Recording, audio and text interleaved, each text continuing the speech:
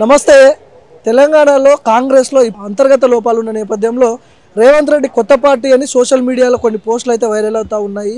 ఈ నేపథ్యంలో కాంగ్రెస్ నియోజకవర్గాల్లో కూడా కంప్లైంట్ చేయడం జరిగింది. ఇది ఎంతవరకు నిజము? ఏం జరుగుతుంది కాంగ్రెస్ పార్టీలో? మాట్లాడదాం. మనతో పాటు దుర్గం భాస్కర్ ఉన్నారు. OUJC TPCC general secretary Congress. Revanth Reddy మీద వస్తున్నటువంటి ఆరోపణలు ఏం చెప్తారు అసలు? ఎంతవరకు నిజం ఇది? అదంతా పూర్తిగా తప్పుడు ప్రచారం.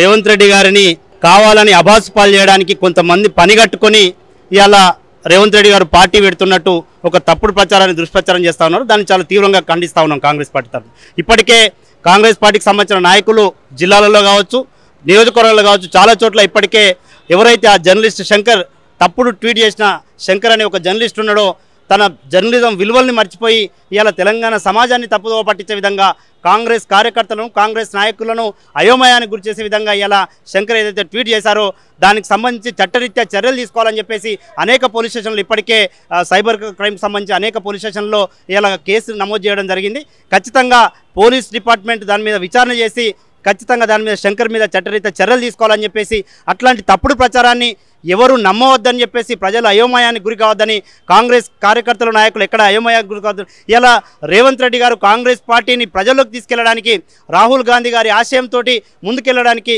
భారత్ జోడో యాత్ర ఏదైతే స్ఫూర్తితోటి విద్వేష రాజకీయాలకు వ్యతిరేకంగా ఇలా లౌకికవాద రాజకీయాలను ఇలా బీజేపీకి వ్యతిరేకమైన రాజకీయాలు చేస్తూ ఇలా రాహుల్ గాంధీ గారు ఈ దేశాన్ని కాపాడే ప్రయత్నం చేస్తున్నారు. ఖచ్చితంగా రేవంత్ రెడ్డి గారు జనవరి ఇరవై ఆరవ తేదీ నుంచి రాహుల్ గాంధీ ఏఐసిసి ఇచ్చిన పిలుపు మేరకు ఇలా ప్రజల్లోకి వెళ్ళడానికి ఒక పాదయాత్ర చేయడానికి కాంగ్రెస్ పార్టీ నాయకత్వం మొత్తం కూడా పాదయాత్ర చేయడానికి సిద్ధమవుతున్న తరుణంలో కేవలం ప్రజల్ని తప్పుదో పట్టించడానికి మాత్రమే ఇట్లాంటి కొంతమంది పని కట్టుకొని ఇలా దుష్ప్రచారం చేస్తాను అది సరైన సరైన విధానం కాదు. మేము జర్నలిస్ట్ మిత్రులకు కూడా విజ్ఞప్తి చేస్తా ఉన్నాం కాంగ్రెస్ పార్టీ తరఫున అలాగే ఉస్మాన్ సిటీ విద్యార్థి నాయకులంగా తెలంగాణ ఉద్యమ బిడ్డలంగా. ఎందుకంటే జర్నలిజం అనేది ఇలా విలువలతో కూడుకున్న జర్నలిజం అయి ఉండాలి తప్ప నిజంగా ఇలా పతనావస్థ ఇలా జర్నలిజం అనేది ప్రజాస్వామ్యం రక్షించడానికి ఒక మూల స్తంభం. ఏదో సంచలనాల కోసము మీ టీఆర్పీల కోసం లేదా వ్యక్తిగతంగా ఒక సంచలనం శంకర్ అనే జర్నలిస్టు సమాజానికి పరిచయం కావడానికి శంకర్ తన వ్యక్తిగత స్వార్థం కోసం ఇలా కాంగ్రెస్ పార్టీని తప్పుదో పట్టిస్తూ తెలంగాణ సమాజాన్ని తప్పుదో పట్టించే ప్రయత్నం ప్రయత్నం చేస్తున్నారు కాబట్టి దాన్ని చాలా తీవ్రంగా ఖండిస్తాను.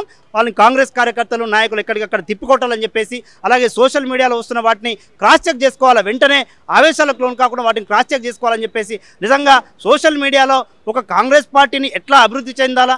ఎట్లా అభివృద్ధి చెందాలా ప్రజలకు ఎట్లా మనం ఇవాళ ప్రజల ఆపదలో ఉన్నారు. ఆ ఆపదలో ఉన్న ప్రజలకు మనం అందరం నాయకులంగా కార్యకర్తలంగా సామాజిక కార్యకర్తలంగా అండగా ఉండడానికి ప్రయత్నం చేయాలా? జర్నలిస్ట్ కూడా వాళ్ళ వంతు బాధ్యతాయుతమైన జర్నలిజం చేయాలని చెప్పేసి జర్నలిస్ట్ మిత్రులు కూడా విజ్ఞప్తి చేస్తాం. కాంగ్రెస్ పార్టీలో అంతర్గత లోపాలు సీనియర్లు జూనియర్లు అనే విభేదాలు మొన్నటి వరకు ఉన్నాయి. ఏఐసిసి పెద్దలు రావడం చక్కదిద్దడం అంతా అయిపోయింది. ఎందుకు? రేవంత్ రెడ్డిని ఎందుకు టార్గెట్ చేయాల్సి వస్తుంది? ఇవాళ కేసీఆర్ చేతిలో బందీ అయిన తెలంగాణ విముక్తి చేయడం కోసం ఇవాళ రేవంత్ రెడ్డి గారు మొత్తం కాంగ్రెస్ పార్టీ నాయకత్వాన్ని సమాయత్తం చేస్తూ ఉన్నాడు. అందరినీ కలుపుకొని పోయే ప్రయత్నం చేస్తూ ఉన్నాడు. ప్రజల్లోకి వెళ్ళే ప్రయత్నం చేస్తాడు.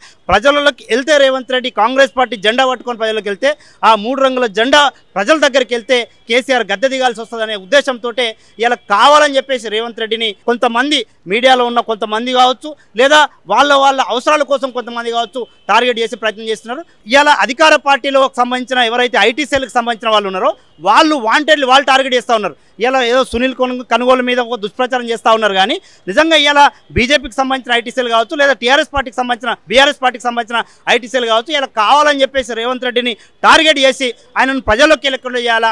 ఆయన నాయకత్వాన్ని పలచన చేయాలా? బలహీనపరచాలనే ఆలోచన ఇలా అటు కేంద్రంలో అధికారంలో ఉన్న బీజేపీ పార్టీ కావచ్చు ఇలా రాష్ట్రంలో అధికారంలో ఉన్న బీఆర్ఎస్ పార్టీ కూడా ఇట్లాంటి ప్రయత్నాలు చేస్తూ ఉంది. మొత్తానికి కాంగ్రెస్ పార్టీలో ఖచ్చితంగా ఇవన్నీ సోషల్ మీడియాలో వస్తున్న వార్తలన్నీ రేవంత్ రెడ్డి యొక్క ఆయన అంటే ఆయన స్ట్రాటజీ దెబ్బతీయడానికే ఇవన్నీ చేస్తున్నారు. కొన్ని సోషల్ మీడియా సంస్థలు కావచ్చు కొంతమంది జర్నలిస్టులు కూడా అధికార పార్టీ వైపు కావచ్చు ఇటు బీజేపీ వైపు కావచ్చు పనిచేస్తున్న పరిస్థితి.